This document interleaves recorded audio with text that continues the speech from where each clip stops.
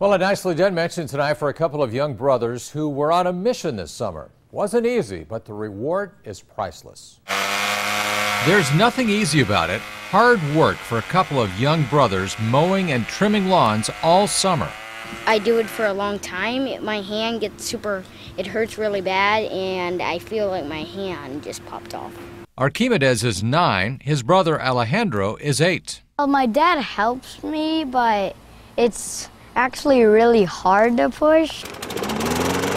They're getting paid for this hard work, but the money isn't going in their pockets. It started during a church service at Christ Community when they received an envelope with $20 inside. When I first saw the $20 bill, I was like, oh, nobody take it.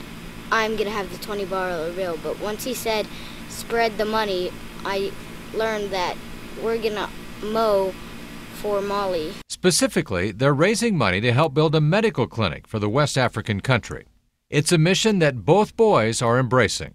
I saw a picture of the people in Africa and I felt so bad for them because they just looked like they ne- needed a hospital. They showed a picture of one and they were really, really sick.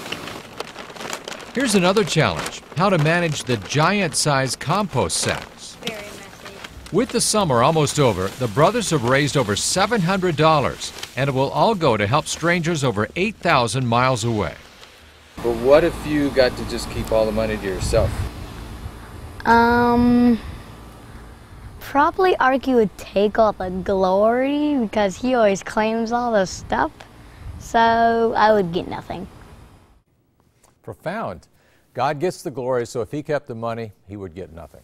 Mallory, their dad Brian, was there all through the summer, and a great time to spend together, too. The great idea. And raising almost or over $700. I know. That's a, just a great work. And uh, I actually ha- will have a link to the Mali Project if you're interested in supporting it as well. It'll be with the story on WOWT.com. Are you going to say it? Nicely done. I can't say those words.